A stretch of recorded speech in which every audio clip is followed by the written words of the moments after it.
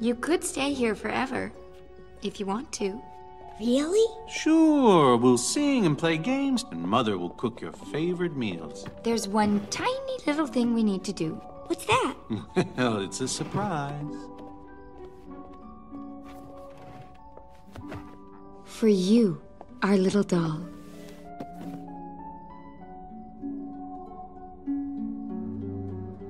Black is traditional. But if you'd prefer pink, or vermilion, or chartreuse, though you might make me jealous.